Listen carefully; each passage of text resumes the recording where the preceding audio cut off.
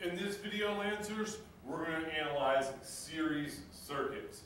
And it's important to remember that in a series circuit, there's only one path for the current, which means the current stays the same throughout the whole circuit, the whole time, the current stays the same in series. That's really important to know. The current stays the same in series. What stays the same in series? Oh, the current does. If you ever forget what stays the same in series, I want you to have it written down on your hand that the current stays the same in series. So you always have that in your head. The current stays the same in series. Everywhere throughout the series circuit, the current stays the same. So we're going to use that to help us analyze this. The question says, calculate the voltage, current, and power for each resistor. And so you see that we have a series circuit here. Just because this 6 ohm is, is turned 90 degrees does not really affect the, um, the way it operates. It's still going to uh, be just as in series as the other two. So we have three resistors in series. And we want to figure out what is the voltage just in the 9 volts. So I know there's 24 volts total, but how much of that will be on the 9 volts? Well, it's not going to be 24 volts because it has to share that voltage with the other ones it's in series with.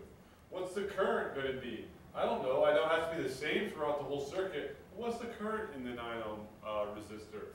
How much power is it dissipating? So we're going to answer those questions. I've organized that information. At this time, group four, you may go enjoy your lunch at the cafeteria. Make sure to pull your mask up and social distance. Thank you. We're going to organize that information in a chart over here where we have our very important physics. That's resistance, voltage, current, and power. And we can then, for the 9 ohm resistor, get the voltage, the current, and the power. And so what are the steps we're going to follow? First, we're going to draw an equivalent circuit. We're going to use the equivalent circuit to calculate our unknown value, in this case current.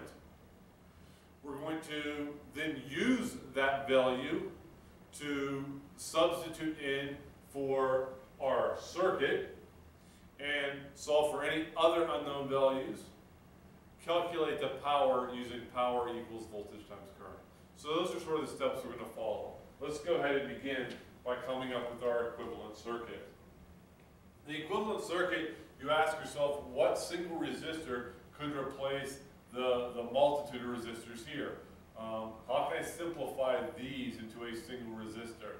Well, 9 and 21 would add in series to be 30, and 6 would make that 36. So if I had one resistor to replace all three of those, it would have to have a resistance of 36 ohms. And so I can sort of view the equivalent of this as a 36 ohm resistor connected to a 24 volt battery.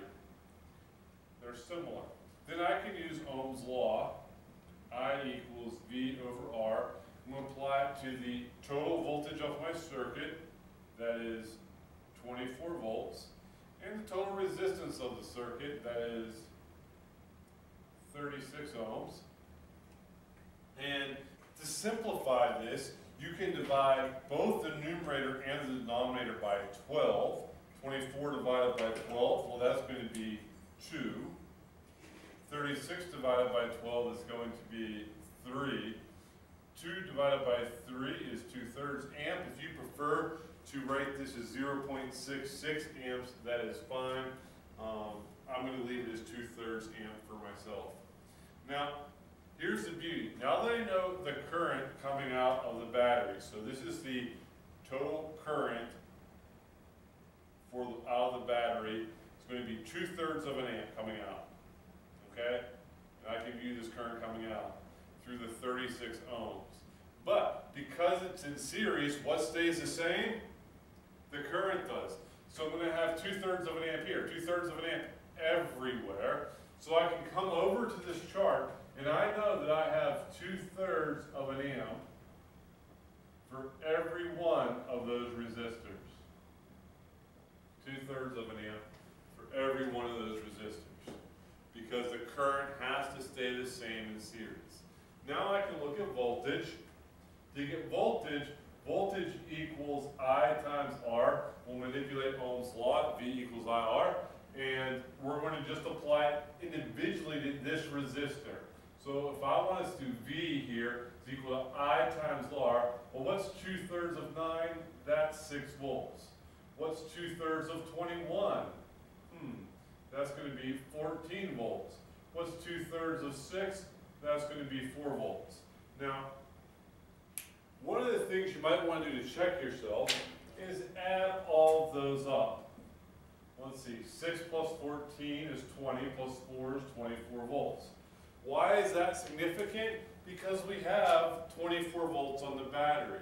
So if the amount of energy in these charges, when they come out, if they lose six volts of energy coming across here, so they're gonna lose six volts here, and they lose fourteen volts there, and then they lose, uh, four volts there. When they get back, they have zero volts. And that has to happen. Okay, anytime around, they're gonna, they're gonna come back to the battery at zero volts. They're gonna spend all their energy.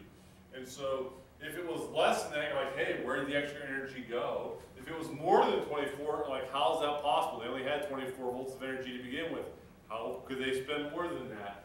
And so, this, only that they have twenty-four volts of energy, you can say, hey, does that make sense that on this one they spend six volts of it, fourteen and four? Okay, it's just something to keep in mind. You could check yourself that way. And if you were to go into a circuit and actually build this and put a voltmeter across the nine ohm resistor, you would measure six volts. If I went measured from here to here, I'd measure twenty volts. That's the six plus the fourteen, there'd be a twenty volt difference. The last step is to calculate the power, and we're gonna use the equation, power is voltage times current, P equals V times I. So in this case, I want two thirds of six, and I can do that, that's going to be four watts. I want two thirds of fourteen, that one's not quite as easy, um, twenty-eight thirds. Twenty-eight thirds of a watt, nine point three.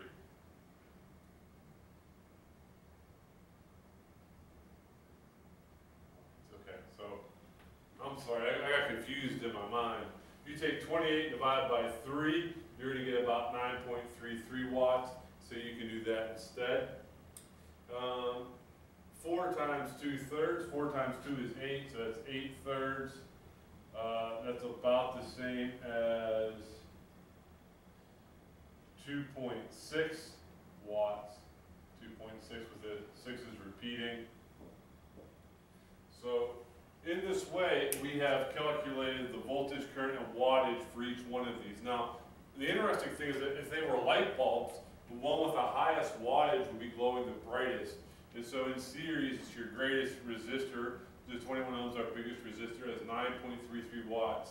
That would have the most energy being dissipated, so if it were a light bulb, it would be glowing the brightest. So that's how you solve a series circuit. Let's let you go ahead and try solving one and uh, see what you can do with it, okay?